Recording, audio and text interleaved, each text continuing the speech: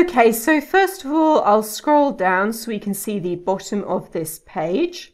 Then go to Insert and insert page numbers. I'll put my page numbers at the bottom of the page. And we have lots of different options for how this can look.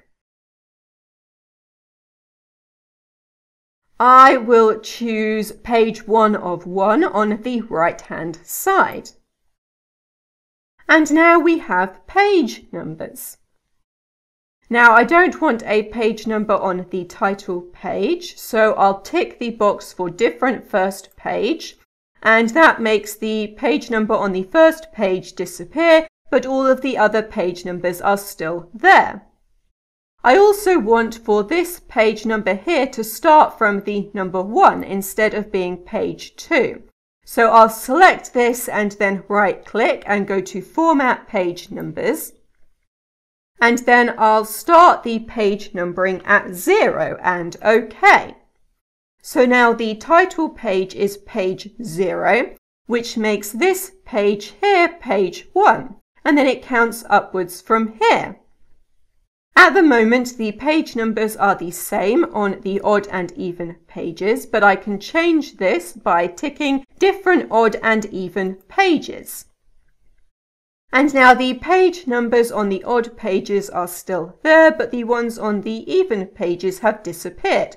And I can add in page numbers for this separately. So I'll go to page number and bottom of page, and this time I'll select page 1 of 1 but on the left hand side.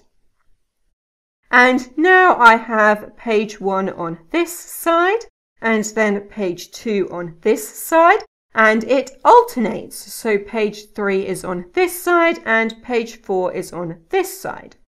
Now I'm going to undo that, so I'll deselect odd and even pages and deselect different first page and then go to page numbers and remove page numbers. Then I'll double click to get out of the footer. What I actually want is for the page numbers for the table of contents to be separate from the rest of the document. So I'll click in here in between the contents and the introduction and I'll go to layout and breaks and then insert a section break. Then I'll go to Home and Show Paragraph Marks, and we can see the section break here. And we're doing this because different sections can have different page numbers. So now I'll go back to Insert and I'll insert page numbers. And this time I want plain numbers in the middle of the page. It's starting from zero because that is what I had previously and it's remembering it. So to change this, I need to select it and then right click and format page numbers. And I'll start at 1 and OK.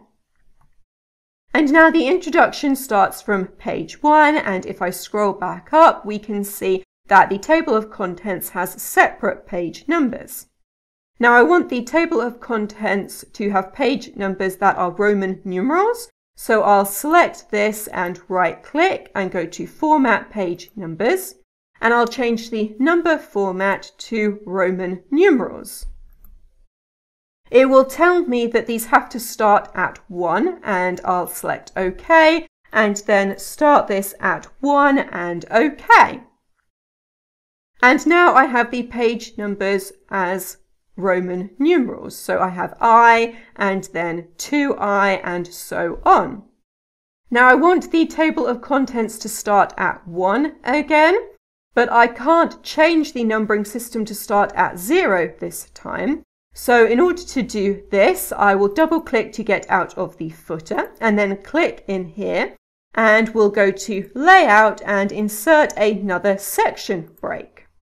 Then I need to delete this line here and now the table of contents is its own section, so the numbering starts at 1 again. Then the final step is to remove the number for the title page. So I'll double click to get back into the footer. However, I can't just delete this number here because if I do, it also removes the page numbers underneath. So I'll undo that. And what I need to do is click in here and then there's an option here called link to previous and I need to click on this to deselect it. And now the page numbers in the table of contents aren't linked to the previous section. So I can now go up here to the title page and delete this page number. And this time the numbers underneath are still there.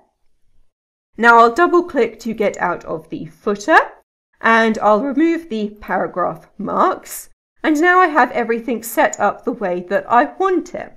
So the title page does not have a number and the table of contents has numbers starting from 1 and they are in Roman numerals. And if I keep scrolling down, then we'll see that the rest of the document, starting with the introduction, has page numbers starting from 1 and counting up from there. Okay, so in this video, I have shown you how to use page numbers in Word, and that is everything.